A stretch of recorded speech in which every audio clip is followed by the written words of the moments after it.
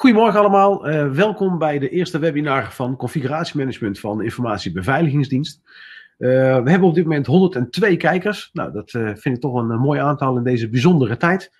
Ehm, ja, we zitten in een, in een andere setting dan normaal. Want ehm, ja, we, doen het vanuit huis, hè, zoals, zoals we weten, door de maatregelen vanuit, vanuit de overheid. En ja, dat is natuurlijk prima. Dit is de eerste webinar in dit verhaal. Op 9 april is de tweede. We gaan eerst uh, met deze beginnen. Uh, wie zijn wij? Uh, op de achtergrond is aanwezig Bas Nieuwensteeg. Dat is de coördinator van de IBD. En die zal in de chat zal die, vragen beantwoorden. ook heb ik Frits Grotehuis, Grotehuis standby. En daar heb ik een, een live link mee op dit moment. Dus die kan ook aangeven als er bepaalde vragen zijn. Die kunnen jullie ook stellen in de chat. En normaal gesproken zullen we die aan het einde, is er nog een vragen kwartiertje dan kunnen we die in uh, behandelen. En ikzelf, ik ben Twan van der Meer. Ik ben adviseur informatiebeveiliging en ik ben uw uh, spreker uh, van vandaag. Waarom zijn we vandaag bij deze webinar? Um, nou, na het volgen van deze webinar kent u in ieder geval het traject van het verhogen van de digitale weerbaarheid van de IBD. En u begrijpt ook het belang van configuratiemanagement voor uw gemeente. En um, nou, ook heeft u inzicht in de partijen die daarbij betrokken dienen te zijn om configuratiemanagement op een eh, goede manier op te zetten. Uh, u weet hoe u kunt starten en u weet ook hoe u dit uh, structureel kunt, kunt borgen in uw organisatie, wat een, wat een heel belangrijk punt is. Um, als ik even kijk naar het verloop van, van deze webinar. Eerst zal ik een, een stukje context behandelen. En een stukje aanleiding en onderzoek. Waarom nou eigenlijk precies dit onderwerp configuratiemanagement? Uh, ja, waar, uh, waar begin je dan eigenlijk? Hoe borg je dit structureel? En ik uh, loop ook nog een aantal best practices met u door. En uiteraard is er nog een kwartiertje voor vragen stellen. vanuit vorige webinars is gebleken dat het, ja, de behoefte tot vragen stellen groot is. Dus vandaar dat we een redelijk groot stuk van de tijd ingericht hebben voor het stellen van, van vragen. Nou, even wat recente voorbeelden. de Universiteit van Maastricht. Um, zal even groter zetten. Zo. Uh, ja, wat we hier uh, zagen is uh, dat deze hack eigenlijk niet gebeurd was als er goede backups en goede software updates uh, gedaan waren. Nou, dan moet je wel eerst weten wat je in huis hebt voordat je natuurlijk dat kunt doen. En ook bij het, ja, het, het beruchte Citrix-lek, beruchte Citrix-kwetsbaarheid, Ehm, ja, we wisten al in december dat er iets, uh, iets was. Er waren toen ook al beperkende maatregelen. Maar toch heeft uh, veel, uh, veel organisaties hebben dit, hebben dit niet ja, uitgevoerd. Ook omdat men vaak niet precies wist om welke versie het nou ging en welke versie men in huis had. En um, ook is er een, een kwetsbaarheid gevonden in, uh, in VPN-software. En ook daarvan waren de beveiligingsupdates al maanden beschikbaar. Maar nog lang niet alle organisaties hadden die, uh, hadden die doorgevoerd. Nou, dat geeft in het kort toch wel aan het belang van configuratiemanagement. Want op het moment dat je weet wat je in huis hebt, dan weet je ook wat je moet doen om het veilig te houden. Maar daar ga ik zo meteen wat verder op in.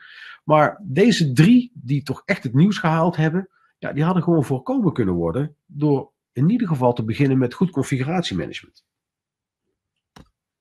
Goed. Um, even een stukje context. Wij zijn als informatiebeveiligingsdienst uh, het uh, traject Verhogen Digitale Weerbaarheid gestart. Daar, uh, dat loopt ongeveer al anderhalf jaar. En um, we hebben daar één punt uitgepikt en dat is configuratiemanagement. En configuratiemanagement maken we twee webinars maken we over. En de webinar van vandaag is meer gericht op de processen, bestuurmanagement.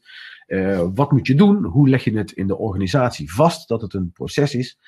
En um, dat zal op hoofdlijnen zullen we dat behandelen. Uh, we gaan nog niet technisch inhoudelijk hierop in, want daarvoor is de tweede webinar. En de tweede webinar die zal zijn op 9 april.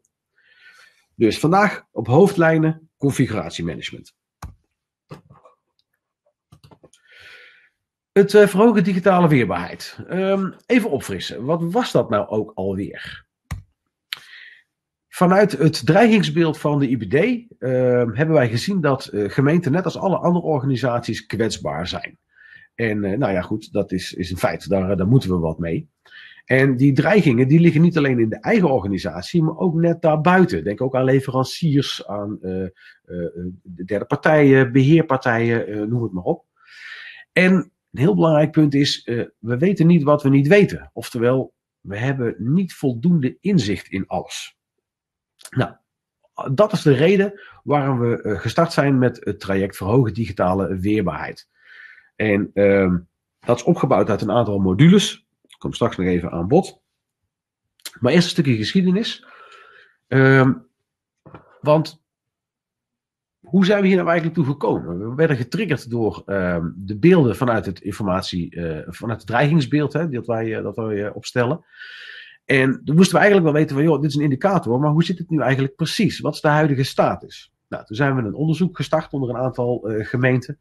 we hebben daar een hele hoge respons op gehad. En dat gaf ons inzicht in de, uh, de huidige status, uh, ja, hoe, hoe, het, hoe het ervoor staat op verschillende gebieden, uh, ja, eigenlijk meer de basismaatregelen binnen de gemeentes. En nu we dat inzicht hebben, kunnen we daar passende hulp op maken. Hè? Want waar start je dan? Waar, welke hulpmiddelen ontwikkel je nu? En deze webinar is daar ook een van de, uh, ja, van de gevolgen van. Maar wat sprong er nou eigenlijk uit? wat er opviel in het onderzoek is het stukje configuratiemanagement. Zoals je kunt zien is, uh, hebben het merendeel van uh, de gemeentes hebben dus configuratiemanagement niet helemaal op orde. Dat zie je ook een beetje aan die deuk uh, onderaan de grafiek. Daar scoort uh, ja, het merendeel van de gemeentes scoort daar toch wat, wat slechter. Dus dat was voor ons de reden om te zeggen van oké, wij gaan um, eerst zorgen dat configuratiemanagement op orde is. Want als je niet weet wat, wat je hebt, hoe kun je dan adequaat reageren? Dus vandaar de keuze voor configuratiemanagement. En als ik dan kijk hoe dat um, het traject Verhogen Digitale Weerbaarheid in elkaar zit, in ieder geval module 1, dan zitten vier cruciale processen zitten daarin. We starten met configuratiemanagement. Nou, de reden daarvan heb ik zojuist uitgelegd. Uh, daar zit ook patch management in change management en incident management. En deze modules zullen wij ook gaande het jaar, zullen wij die uh, uh, themagewijs zullen wij die behandelen. Maar laten we starten met configuratiemanagement. Waarom is configuratiemanagement nou eigenlijk zo belangrijk? Um, kijk, als je niet weet wat je in je, in je ICT-infrastructuur hebt, kun je nooit de juiste beslissingen nemen. Want je weet niet wat je hebt. Dus waar neem je nou de beslissing op? En daardoor kunnen er ook systemen kwetsbaar worden zonder dat je het weet. Want als je niet weet wat je hebt, ja, dan kan het ook zomaar zijn dat daar software op staat die kwetsbaar is, met alle vervelende gevolgen van dien. En dan kunnen echt bedrijfsprocessen kunnen onbeschikbaar uh, raken. Plus, er kan natuurlijk ook apparatuur in je netwerk zitten die er niet eens hoort te zijn, die daar ooit door iemand ingehangen is en vergeten, niet meer opgehaald, of misschien zelfs wel bewuster ingehangen. En um, dat noemen we shadow IT. Dat is aanwezig, het doet iets, maar het is niet in beeld. En zeker omdat het niet in beeld is, wordt het ook niet beheerd. En daardoor is de kans op inbraak natuurlijk heel groot. Um, nou, als je wel weet wat er aanwezig is, dan weet je in ieder geval wat je moet doen. En op het moment dat er incidenten optreden, dan weet je in ieder geval waar je het moet zoeken. Op het moment dat je weet wat je allemaal hebt staan, ja, dan, dan heeft het geen verrassingen. Dan kun je alles netjes terugvinden. En ja, dat heeft natuurlijk weer uh, tot gevolg dat het ook veilig en betrouwbaar blijft. Hè. Je kunt heel gericht kun je patches en updates uh, kun je, uh, installeren op de, de devices of de software die op dat moment kwetsbaar is geworden. En dat komt de betrouwbaarheid natuurlijk absoluut ten goede. En je kunt natuurlijk ook heel gericht monitoren naar verdachte gebeurtenissen in de ICT-infrastructuur. En dat is eigenlijk een beetje het laatste punt wat wij zagen vanuit het dreigingsbeeld. Hè. We weten niet wat we niet weten. Nou ja, dat zullen we toch moeten, moeten uitvogelen. Want op het moment dat er iets gebeurt, dan zullen we actie moeten ondernemen. Je wilt niet op het moment dat er, eh, dat er uh, verdachte zaken gebeuren, dat er indringers in je netwerk zitten, dat je daar ongemerkt hun gang kunnen, kunnen gaan.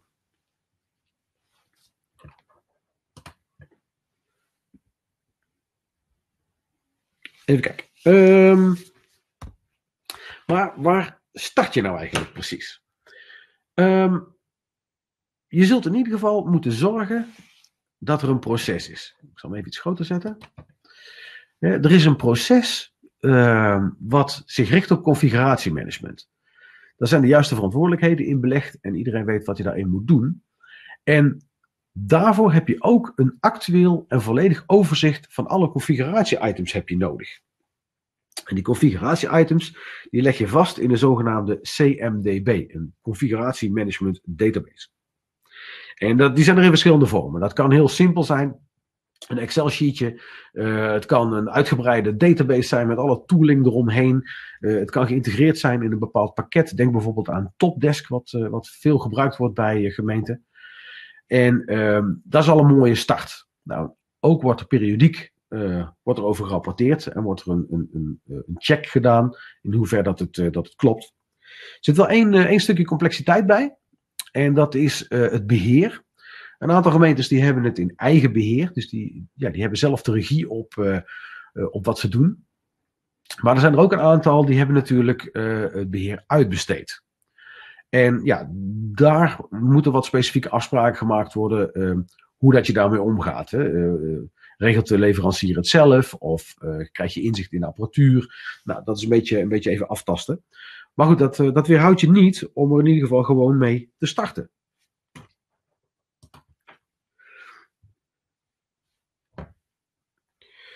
Goed, maar hoe begin je nou? In ieder geval zorg je dat de verantwoordelijkheden goed belegd zijn. Mensen weten wat ze moeten doen, weten welke taken er verricht uh, moeten worden, uh, zodat dat een, een, een samenwerkend uh, geheel wordt. En breng dan in ieder geval in kaart wat je al weet. Heel veel zit vaak bij, eh, bij beheerders zit in hun hoofd. Nou, dat is natuurlijk heel mooi, maar dat zal toch ergens vastgelegd moeten worden. En uh, wat je dan precies vast wilt leggen, nou, dat moet je even bepalen. Maar daar hebben wij als IBD een hulpmiddel voor. Wij hebben een schabloon ontwikkeld. En dat is een, een, een relatief eenvoudige uh, Excel-schabloon.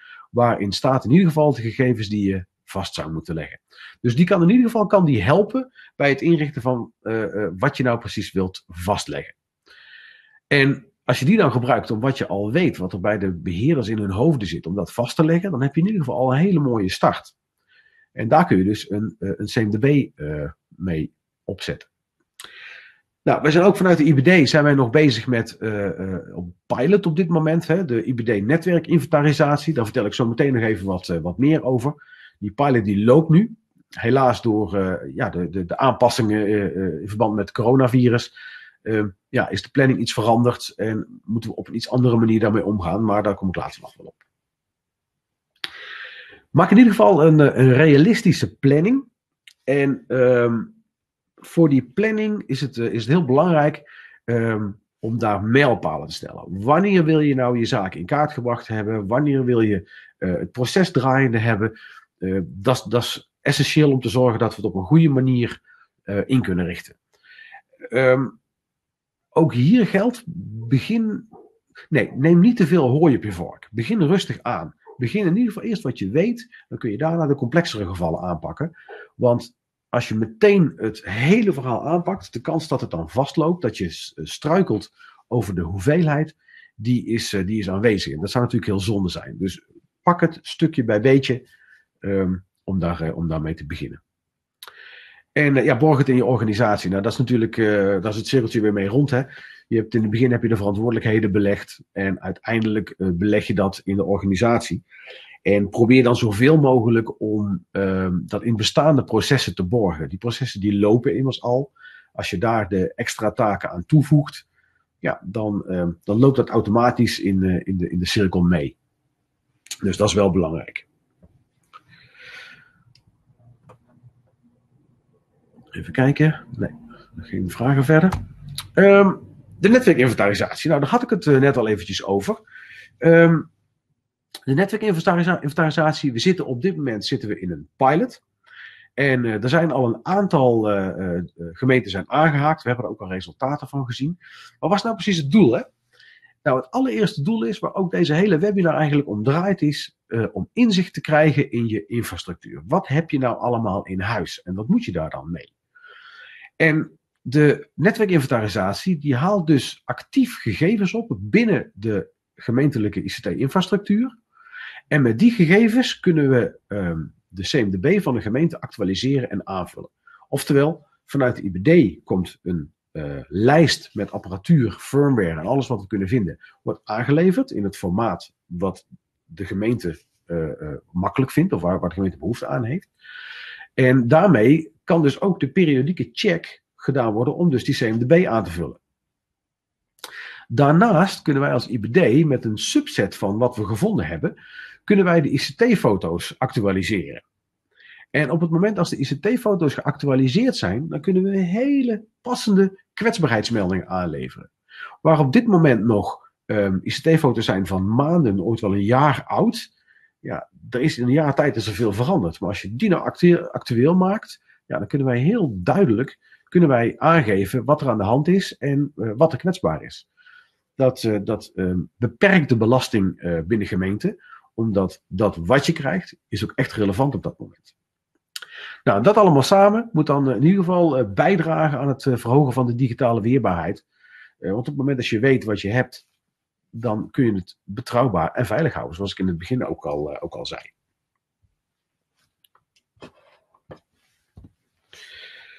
Maar uh, wat doen we nou precies? We starten met een, uh, met een intake.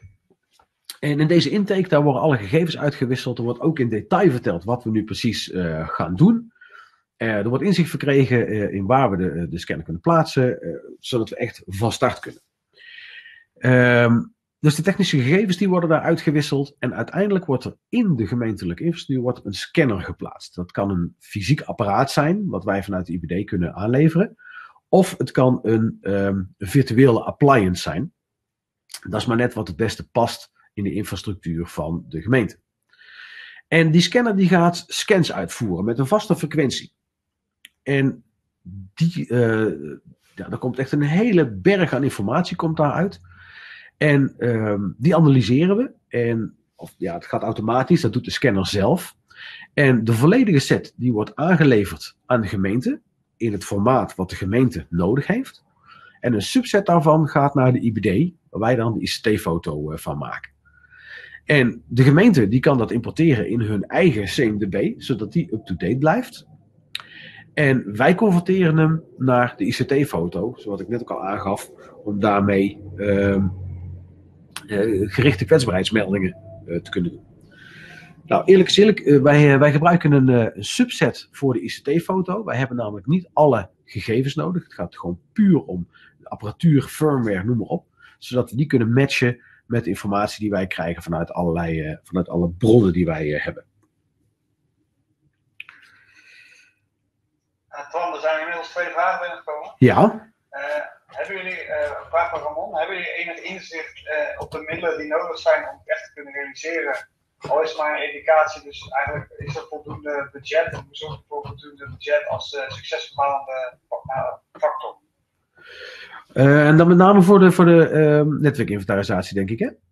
Ja. Ja.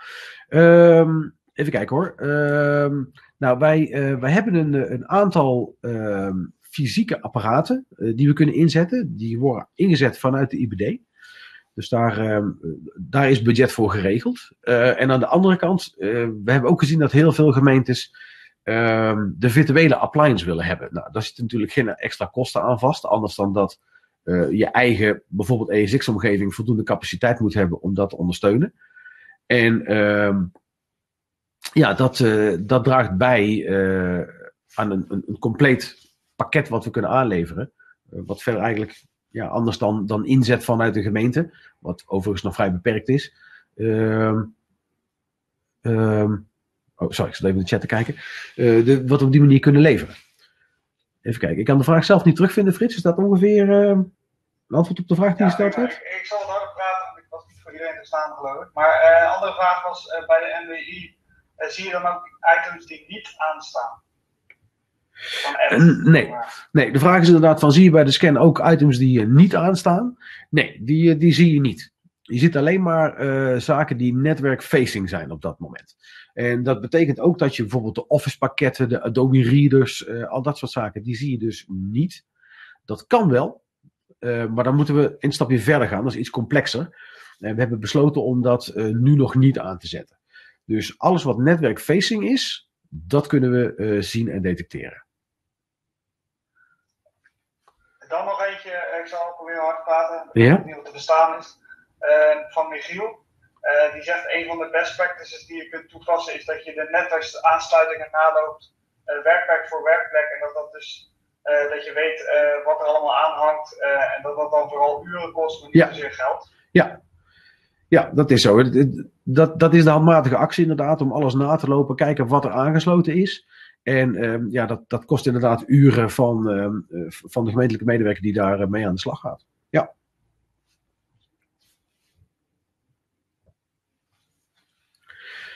Even kijken. Ehm, dus dat even tot uh, voor uh, de netwerkinventarisatie.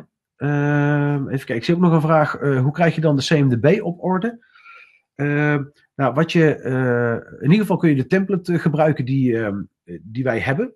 En als je al een CMDB hebt, bijvoorbeeld in Topdesk of in een andere tool, dan kunnen we in ieder geval een formaat aanleveren die je daarin kunt inlezen, die je kunt importeren daarin. Dat zal met een soort API zal dat gaan. Maar dan ga ik al gelijk een beetje de techniek uh, in. En uh, daarmee kun je uh, je CMDB up-to-date maken. Daar zal ook een check in zitten. Althans, dan zijn we aan het proberen om niet zomaar klakkeloos dingen te overschrijven, maar dat er een soort vergelijking plaatsvindt.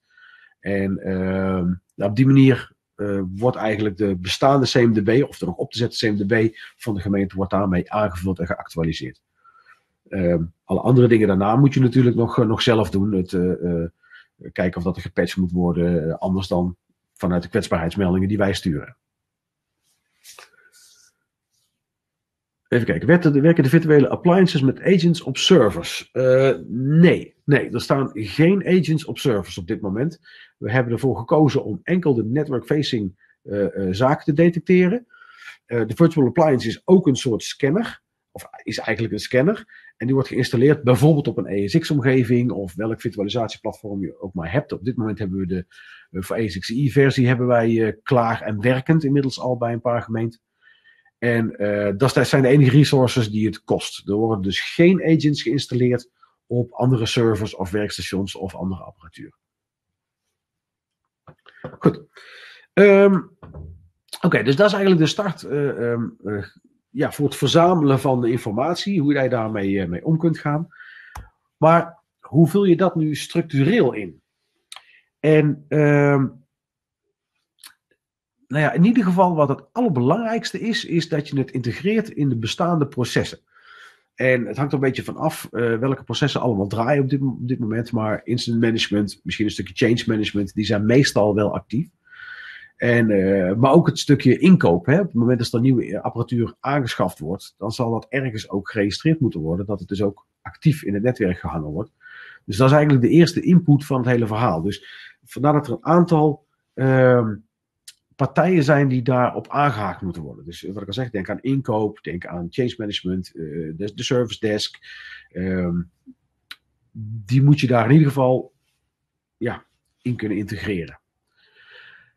En um, nou, maak afspraken over het. Hem even wat groter zetten.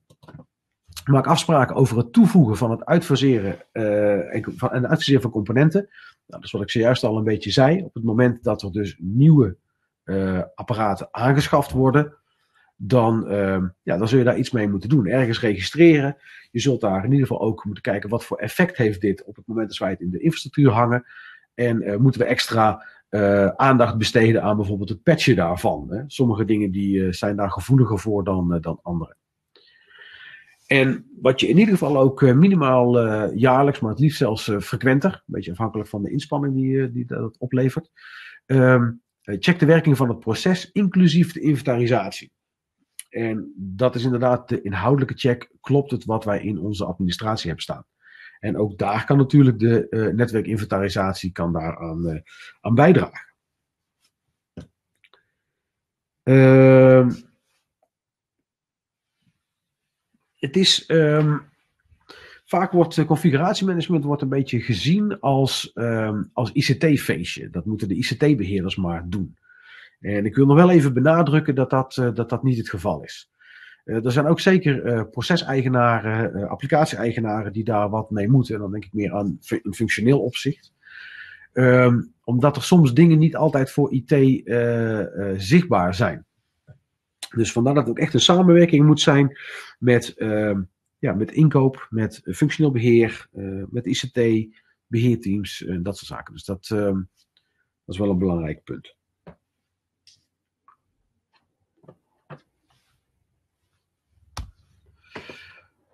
Even kijken.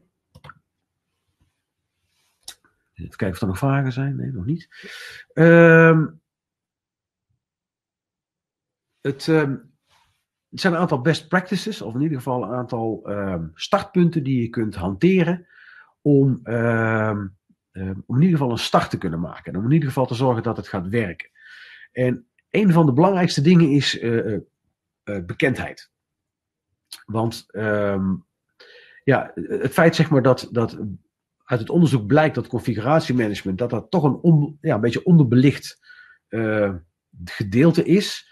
Uh, ja, komt het door, komt het door onbewust, uh, dat, het ja, dat, het, um, dat mensen zich niet bewust zijn hoe belangrijk het is, of dat er geen tijd voor gemaakt wordt, of dat er geen resources voor zijn. Um, maar het is echt belangrijk om dit op te pakken. Dus het is heel belangrijk om in ieder geval te benadrukken uh, wat het belang hiervan is. En ja, hopelijk kan deze webinar en de materialen die wij hebben, we hebben ook nog een factsheet uh, daarvoor, uh, factsheet configuratiemanagement, die heel goed benadrukt waarom het nou zo belangrijk is. En zoals ik ook in het begin van, van de presentatie al zei, um, veel dingen, veel grote hacks die nu in het nieuws zijn geweest, ja, die hadden voorkomen kunnen worden als inzichtelijk was geweest wat de situatie was. Dus dat kun je altijd in ieder geval gebruiken als een soort handvat. Joh, dit moeten we doen, want anders gebeurt dit. En um, wat ik straks ook al zei, je kunt het heel groot en massaal kun je het, je het aanpakken. Maar uh, begin nou eens even met de kroonjuwelen. Pak het, het de, de, de, specifieke hardware en software die, uh, die relevant zijn voor hele kritieke processen vanuit de gemeente. Maak dat de scope waar je mee begint. En breid die langzaam uit. En dan kun je het in ieder geval, blijft het behapbaar. En uh, maak in ieder geval, uh, zorg dat het, dat het structureel wordt. Dat het in de organisatie opgenomen wordt. Dat het in de, in de, in de cyclus meegaat van, van alle beheertaken. En dat er ook een, een evaluatie zijn. Maak daar goede afspraken over. Dat is ook echt belangrijk om er, uh, om er scherp op te blijven. Um, nou, leg ook het toevoegen en uitfaseren vast. Dat is wat ik net ook al zei. Hè. Het is erg belangrijk als er nieuwe apparatuur in het netwerk geplaatst wordt, of juist verdwijnt, werkt dat dan bij.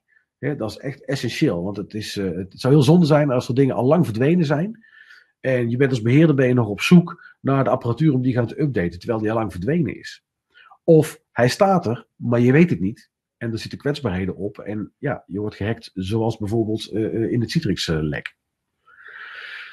En ehm, dus dat is ook een van de dingen waar je, waar je extra aandacht aan moet, uh, moet geven. Geef de CI's, de configuratie-items, een eigenaar en belegde verantwoordelijkheid. Dit maakt het vanuit um, beheeraspect maakt het wat eenvoudiger. Want op het moment als een configuratie-item, een applicatie of een, device, wat dan ook, een eigenaar heeft, dan voelt die eigenaar zich ook verantwoordelijk voor het goed functioneren hiervan. En op het moment als er iets aan de hand is, of hij, hij uh, gaat weg, of er moet iets bij, dan trekt die eigenaar vanzelf aan de bel. En dan kun je daarop reageren. Dus uh, op het moment dat iemand zich verantwoordelijk voelt voor dat gedeelte, dan weet je ook dat er op, uh, op gereageerd wordt. Even kijken, ik zie een hoop vragen voorbij komen. Um, en ja, als laatste, zorg voor een eenduidige registratie. Nou, we hebben het kort al genoemd, de configuratie management database hoe eenvoudig ook, uh, al is het maar een Excel-sheet of een lijst, um, leg het vast, maak het eenduidig, zorg dat het inzichtelijk is. Dat is echt het, het allerbelangrijkste. Um, daar kun, je, daar kun je relatief vrij eenvoudig mee, eh, mee starten. Maar moet ik wel zeggen, ik heb begrepen dat toch best wel veel gemeentes uh, Topdesk hebben. En in Topdesk zit een module uh, ja, die, daar, die, die, daar standaard mee overweg kan. Dus vaak hebben, hebben gemeenten het al in huis zonder dat ze het eigenlijk weten. Nou ja, dat is natuurlijk heel zonde. Dus uh, gebruik dat in ieder geval. Twan, er zijn een paar vragen binnengekomen. Ja, nou ja, dit is in ieder geval zeg maar, de, de best practices. En ehm, nou, de volgende, dat, dat zijn de vragen. Nou, ik zag inderdaad dat er een hoop al voorbij scrollt, dus misschien moeten we maar gewoon de, de vragen gaan beantwoorden. Ja, ik zal er twee doen die in ieder geval gesteld zijn. Koos vroeg, waarom geven we ICT niet de verantwoordelijkheid en bevoegdheid om niets aan te sluiten van wat hen niet bekend is, uh, ofwel een aansluitingsproces? Ja, ja dat, is, dat is een hele goeie. En uh, dat, is, uh, ja, dat is eigenlijk een concrete uitwerking. Ik zal de vraag even herhalen. Hè. Uh, er wordt gevraagd waarom er eigenlijk IT geen bevoegdheid krijgt om een soort aansluitprocessen op te stellen. Nou, dat is een hele goeie. dat is een heel duidelijke, concrete uitwerking van het toevoegen en weghalen van apparatuur. Op het moment als, als ICT er niks van weet, dan wordt het gewoon niet aangesloten. Nou, dat kun je ook technisch kun je dat natuurlijk realiseren dat het ook werkelijk zo werkt. Uh, maar dat is absoluut een, een, hele goede start, ja. Ja, zeker. Uh, ja, en, en, Wim voegt daar toe, uh, ja, alleen op basis van een change. Ja, ja inderdaad. Dat is, nou ja, change management is een van de processen die we in deze modules ook nog, nog gaan behandelen. Maar vanuit het change proces wordt er inderdaad heel gecontroleerd worden er aanpassingen in de ICT-infrastructuur uh, gedaan. En of dat nou configuratiewijzigingen zijn of toevoegen van apparatuur. Um, het change-proces zal altijd input moeten leveren aan het configuratiemanagementproces op het moment dat er aanpassingen zijn binnen het netwerk. Wat het dan ook is. Gerrit uh, kun je dat bijvoorbeeld met MAC-authenticatie afdwingen? Gedeeltelijk, gedeeltelijk. Want je kunt inderdaad met, eh, met MAC-authenticatie uh, kun je afdwingen dat er niet zomaar nieuwe dingen aangesloten kunnen worden. Maar op het moment dat er bepaalde wijzigingen gedaan worden, of dat er applicaties aangepast worden, of wat dan ook, dat zie je met, met MAC-authenticatie zie dat niet. Dus als eerste gedeelte voor het toevoegen aan, een, ehm, aan het netwerk, ja, is dat, een, is dat een prima eerste stap. Maar je zult ook nog wat moeten doen voor de software die erop draait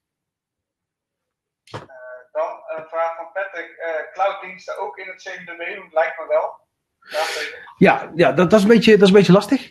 Uh, kijk, als je een, een clouddienst afneemt, dan, dan dat doe je omdat je de zorg van het beheer wil je juist bij een andere partij neerleggen. En um, ja, je mag ervan uitgaan, of althans, daar zul je wel afspraken over moeten maken.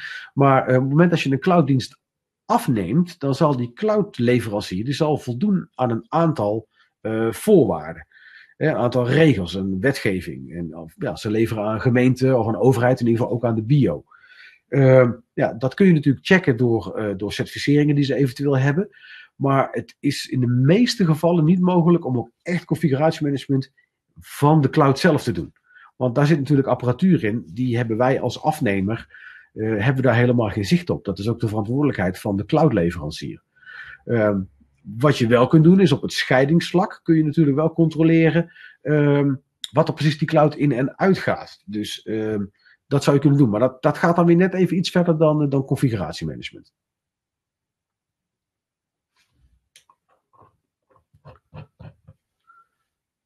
Even kijken. Uh, authenticatie. Even kijken, heb hier nog een vraag. Wij werken veelal met netwerkprocessen waaraan configuratieitems zijn gekoppeld. Hoe bepaal je daarbij de eigenaar? Bijvoorbeeld applicatie A wordt gebruikt in proces X en Y. Ik heb er wel veel zin in, maar... Uh, ja, dat, dat, is, uh, dat is even wennen. Uh, maar de, vaak is er wel een procesverantwoordelijke, of in ieder geval een, een, een, uh, een, manager van een bepaalde afdeling of wat dan ook. Ja, die is wel dan verantwoordelijk voor die applicatie. En die zou ook die verantwoordelijkheid daarin moeten nemen.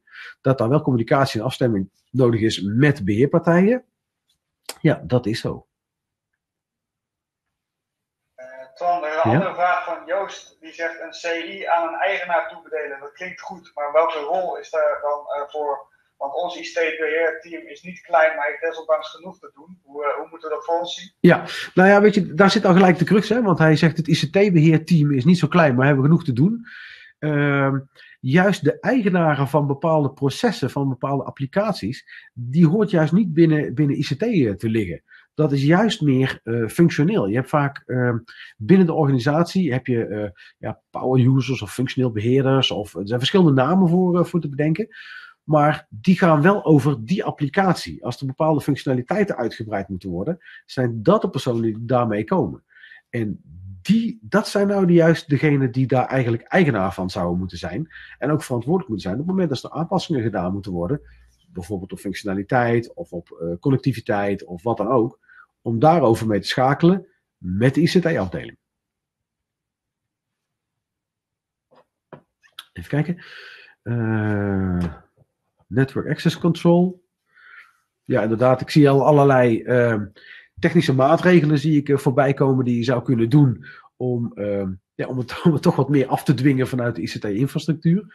Um, ja, dat is, dat, dat, dat is mogelijk. maar de oplossingen daarvan zijn legio. ik, ik, denk dat dat ook iets te ver gaat om dat in deze webinar te behandelen. misschien dat we er in de volgende webinar wat dieper om in kunnen gaan. En anders dan kunnen we natuurlijk altijd rechtstreeks nog even daar contact over hebben. Uh, om, om, te kijken van nou wat is daar handig in. Want ja, wij ondersteunen natuurlijk altijd als IBD daarin. Dus vandaar. Dan een, een, vraag van Petra. Ja. tenminste meer een opmerking. Bij ons hebben we functioneel specialisten die een set applicaties beheren. Zijn zij centraal georganiseerd? Ah, oké. Okay. En ja, dan is het even de vraag: vallen die dan onder de ICT-afdeling? Of vallen die dan juist weer onder, uh, onder een andere business unit of onder een andere afdeling binnen de gemeente of wat dan ook. Uh, maar dat is wel een van de, van de stappen in de goede richting om in ieder geval ook dat configuratiemanagement, om die eigenaar te maken van die applicaties, van die, van die omgevingen.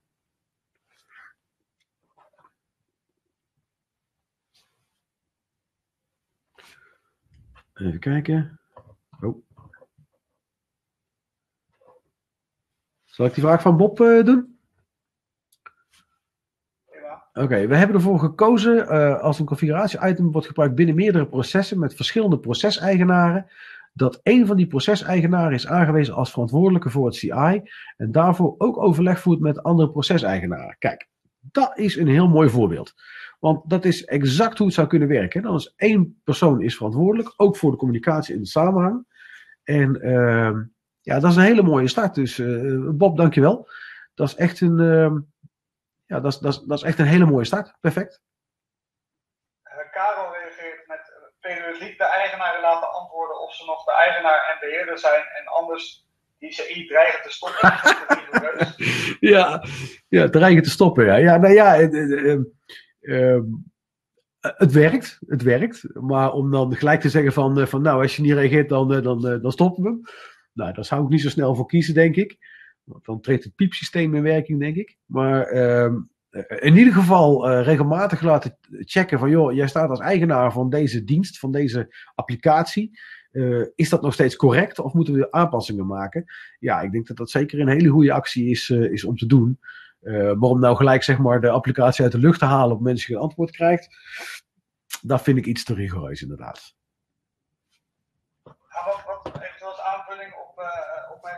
weet niet of goed te bestaan is. Maar uh, wat, wat zou kunnen natuurlijk wel is uh, pas iets uitgeven of pas iets uh, in werking laten treden op het moment dat het geregistreerd is. Dus dat je daar wel bepaalde eisen of afspraken op maakt. Ja, ja. Ja, nee, dat, dat, dat, dat is zeker zo. Het, uh, ja, dat is ook een beetje in lijn, zeg maar, wat, wat eerder al, al gevraagd werd. Ehm, sluit het pas aan op het moment dat het geautoriseerd is. En eerder wordt het gewoon niet, wordt het niet geactiveerd. Dus dat is een, ja, dat is een prima start. Ik vind het wel mooi om te zien trouwens dat de, de vragen die er komen, die zijn, uh, die zijn heel concreet. En dat betekent dat het toch wel, uh, toch wel leeft binnen de gemeente. Nou, daar ben ik heel blij mee. Want dat betekent dat het, het belang van configuratiemanagement wel goed, goed tussen de oren zit. En daar, daar ben ik blij mee. Want um, um, kijk, het feit dat het wat onderbelicht is, ja, dat, dat, waar ligt dat dan aan? Hè? Dat is niet helemaal te achterhalen wat daar dan de oorzaak van is. Maar dat er toch wel concreet mensen mee bezig zijn, ja, dat vind ik wel heel goed, uh, goed om te zien. Even kijken, Hans, er is, uh, er is wel verschil tussen een eigenaar van een asset en de beheerder van een asset. Ja, absoluut. Absoluut. Er is inderdaad verschil tussen de eigenaar en de beheerder. Um, vaak is het zo dat, zeg maar, dat de, de beheer, beheer dat het ja, technisch beheer is. Hè, die zorgt dat het apparaat in de lucht blijft. Uh, maar wat nou precies het doel en het belang daarvan in de organisatie uh, uh, zit, ja, is vaak wel bekend bij een beheerder, maar is wel de verantwoordelijkheid van die eigenaar. En die eigenaar die bepaalt uiteindelijk ehm, ja, wat ermee moet gebeuren en of die überhaupt nog nodig is en nog in de lucht gehouden moet worden. Even kijken. In ITEL past dit binnen het verificatieproces van configuratiemanagement. Oh, dat is een antwoord aan Karel. Oké. Uh, ik zie een vraag van Ed. Binnen Rotterdam ondersteunen we de bedrijfsprocessen met services. De services maken gebruik van CI's. Uh, zowel de service als het CI heeft een eigenaar. Kijk, dat is zelfs gesplitst. Dat goed. Uh, daardoor kun je één CI voor meerdere bedrijfsprocessen inzetten. En op de service hebben we een verantwoordelijke. Binnen een service zijn meerdere CI's. Ja, dat is een, dat is een prima verdeling. En uh, ja, heel goed, goed om te zien dat het dat heel volwassen wordt aangepakt. Ben ik wel heel benieuwd ehm, in hoeverre hun CMDB nu al dekkend daarin is. Hè? hoe, hoe actueel is die er? Ehm, want dat is vaak toch lastig, hè? omdat het, blijft een, een, een, terugkerend proces om ja, de dingen up-to-date en actueel te houden. En um, ja, vaak werkt het change-proces daar wel redelijk goed in, maar 100% waterdicht, ja, dat is vaak toch, is vaak toch lastig. Even kijken. Korte aanvulling op, uh, op Ed, als ik te horen ben. Ja. Uh, misschien ook inderdaad goed om altijd na te denken, wat wil ik weten, wat wil ik vastleggen, wat is van belang, uh, op welke niveaus, welke relaties zijn van belang. En dat kan echt op hoog niveau zijn, maar dat kan ook heel erg diep gaan natuurlijk, maar dat is net hoe ver je wil gaan. Ja. Uh, maar altijd goed na te denken van, joh, als je, het, als je er toch nooit niks mee gaat doen, dan hoef je het ook waarschijnlijk niet vast te leggen. Als nee. je denkt, dit is wel van, van belang, dan, ja, dan, dan is het goed om het structureel in ieder geval goed, goed ergens vast. Ja, inderdaad. Ja, inderdaad. Het is inderdaad wel belangrijk. Als je, er, als je er nooit meer iets mee gaat doen, ja, waarom leg je het dan vast inderdaad? Dus dat, uh, maar ik weet wel dat, dat um, het schabloon wat we, wat we gemaakt hebben, Frits, hè, die, um, um, ja, die sluit daar wel bij aan. Uh, maar ja, het kan wel zo zijn dat daar uh, dingen in zitten die je misschien toch niet nodig hebt. Maar dat is aan eigen beoordeling. En, ik krijg nog een aanvulling van Ed. Wij hebben de CMDB voldoende op orde, inclusief de relaties. De gehele keten is in kaart. Nou, dat is een, dat is een mooi voorbeeld. Ehm en dan zou ik ook willen vragen, Ed, zou je dat met ons kunnen delen? Want het is natuurlijk een hele mooie best practice, een heel mooi voorbeeld. Hoe hebben jullie dat nou gedaan? Waar zijn jullie tegen aangelopen? Hè? Wat, wat, uh, wat kunnen we ervan leren? Wat hebben jullie ervan geleerd? En wat kunnen andere gemeenten ervan leren uh, in het opzetten en, uh, en volledig maken van zo'n CMDB en het proces? Dus, dus Ed, ik zou daar graag nog een keer met je over willen, willen schakelen om te kijken, kunnen we daar bepaalde geleerde lessen uithalen die we kunnen delen met, met andere gemeentes. Dat zou heel fijn zijn. Even nog een vraag van Bob. Ja? Ik zie een rol van de CISO om eigenaren te triggeren dat zij zaken up-to-date houden. Met uh, andere woorden, periodiek overleg van de CISO met de eigenaren. Ja. ja, ik, ik, ik, zie er ook zeker een rol voor de CISO in zitten. En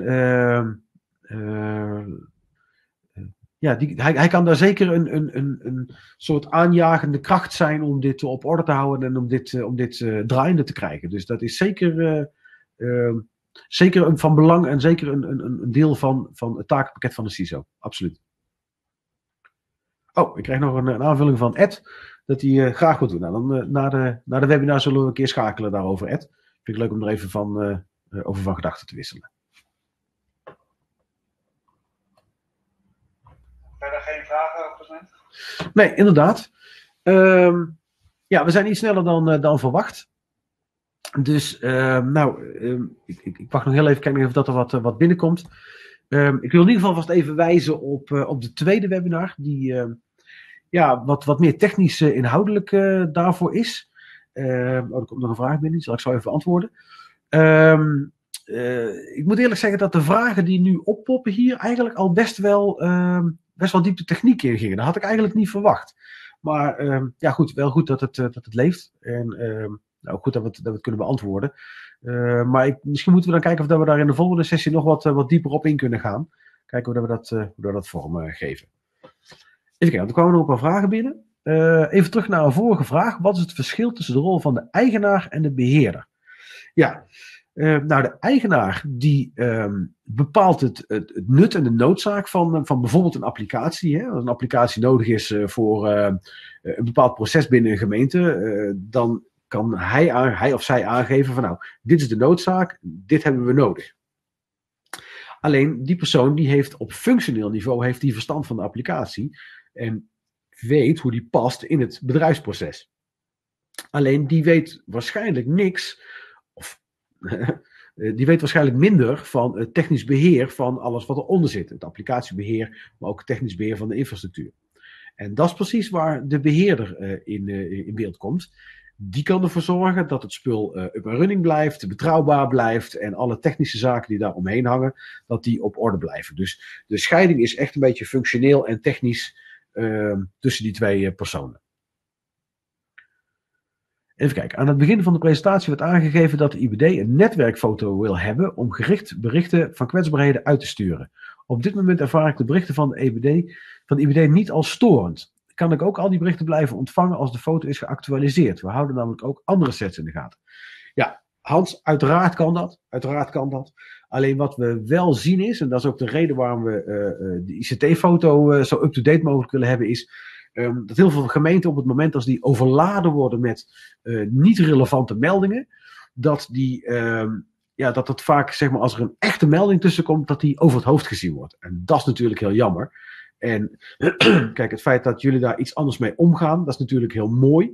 En dat je steeds die afweging maakt, moeten wij hier eens mee? Nou, dat is helemaal super. Dus die informatie kun je sowieso blijven ontvangen. Maar uh, weet in ieder geval dat een, een, groot aantal gemeentes zijn die eigenlijk zoveel mogelijk toegesneden op hun infrastructuur die, uh, die meldingen willen hebben. Dus vandaar dat we deze insteek uh, gekozen hebben.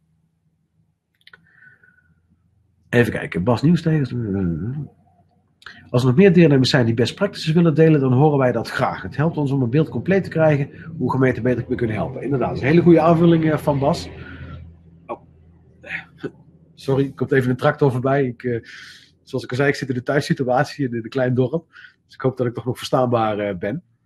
Uh, ja, nee, dus, als, als er best practices zijn, heel graag. Ehm, ja, de, de, de, geleerde lessen willen we graag delen met, met andere gemeenten ja, om die uh, vooruit kunnen helpen. Dus uh, heel graag.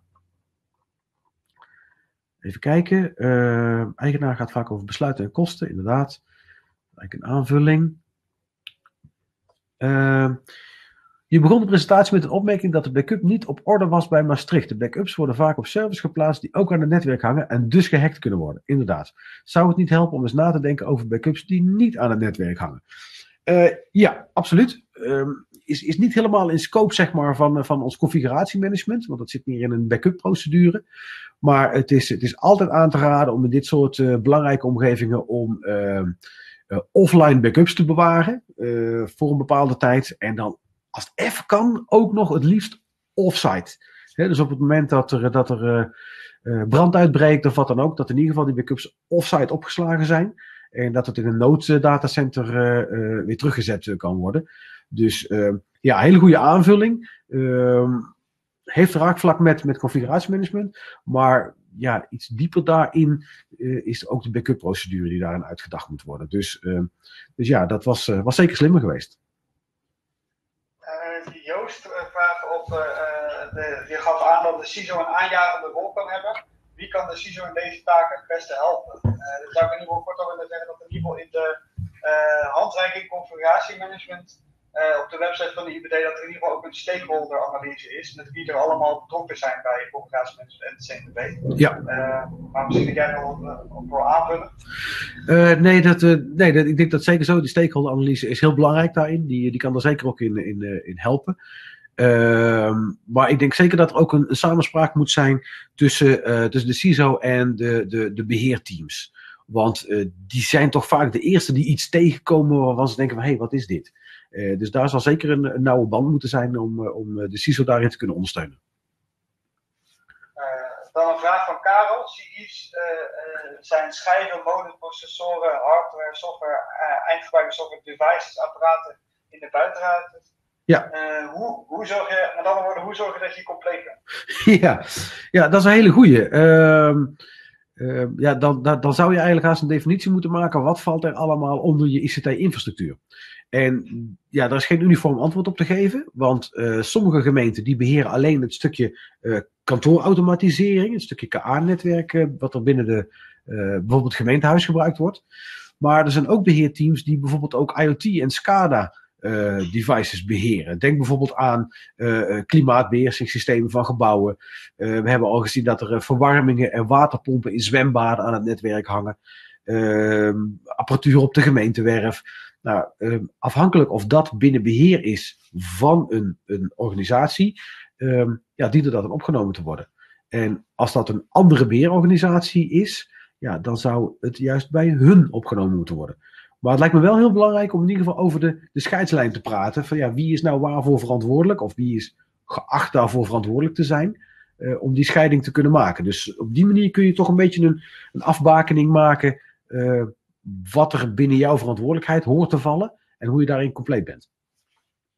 Dan een vraag van Jacqueline. Uh, zijn PKI-certificaten ook CI's? Ehm, ja, in principe wel.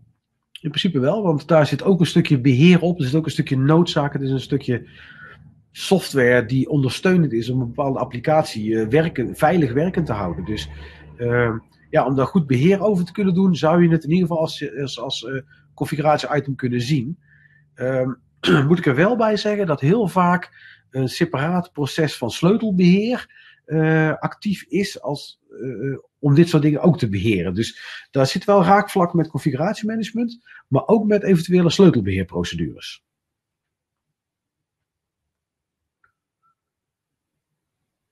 Even kijken. Uh... Oh ja, de 3-2-1 rule voor backups. Ook nog een goede tip van Martin. Even kijken hoor. Petra, hier worden beheerders dus ook getriggerd van de risico's voor security naast up-to-date houden CMDB. Uh, ja, inderdaad, dat klopt. Uh, want uh, dat, ja, dat zit onlosmakelijk gekoppeld. je zult je CI zul je veilig moeten houden. Dus dat is inderdaad een extra trigger om, om security acties te nemen naast het gewone in de lucht houden van apparatuur. Oké. Twan herhaalde vraag staat steeds. Zal ik even doen. Um, Oké. Okay. Um, Frits, hebben we verder nog uh, vragen gezien? Uh, binnen Assen registreren wij alle certificaten in het CMDB, zegt ja, ja, nou dat is eigenlijk een bevestiging van, van de vraag van, van, van Jacqueline. Ehm, ja, je kunt ze als, als CI registreren in de CMDB. Dus belangrijke aanvulling van Richard, dankjewel.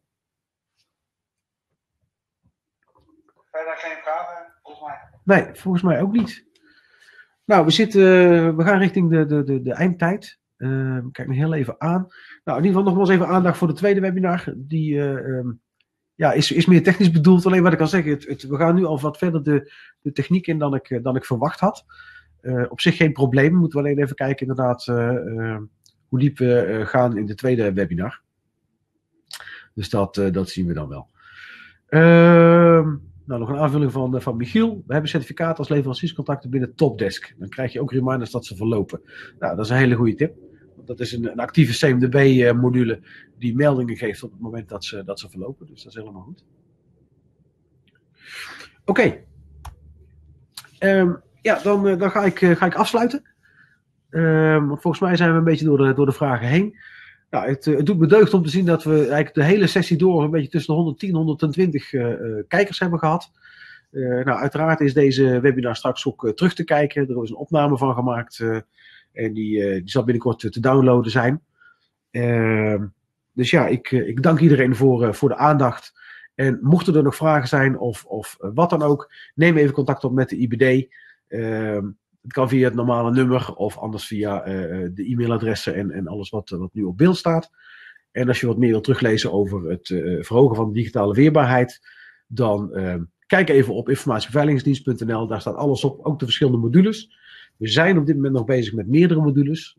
dus ehm, ja, dank. En ja, Ed, ik neem contact met jou op. Dus, dus ja, dat gaan we doen. Oké. Dankjewel iedereen. En eh, bedankt voor, eh, voor alle vragen en alle input. En uh, mochten er vragen zijn, neem even contact met ons op. Dankjewel.